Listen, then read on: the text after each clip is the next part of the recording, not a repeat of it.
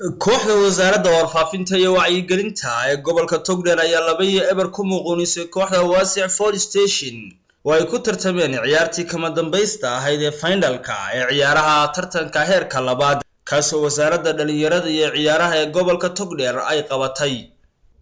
Isduwaha wasaaradda warfaafinta iyo wacyigelinta ee gobolka togdheer yuusuf ibraahim warsame ilka case iyo sidoo kale isduwaha wasaaradda dhalinyarada ee ciyaaraha ee gobolka togdheer ismaaciil weydaar ayaa waxay iyaguna guud ahaanba hambalyo u direen kooxdan wasaaradda warfaafinta oo ku guulaysatay koobkan.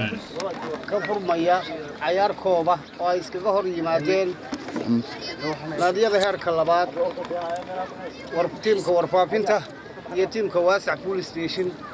Aad iyo aad baan u soo dhawaynaynaa tihiin huwan tihiin magac qaran baa huwan tihiin tiimamkan idinla ciyaaraya waa tiimam maaragtay huwan tiimam ashkhaas ganacsataa iyo dad magac leh laakiin idinku waxaa huwantihiin magac qaran.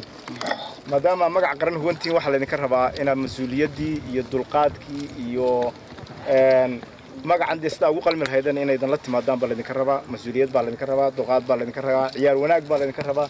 Waxaa laydinka rabaa inay idinku daydaan tiimamka kale aad la ciyaarsan idinku daydaan waan ogahay inaad tihiin tiim maaragtay runtii dadaalaya laakiin hawl badan baa idiin taalla.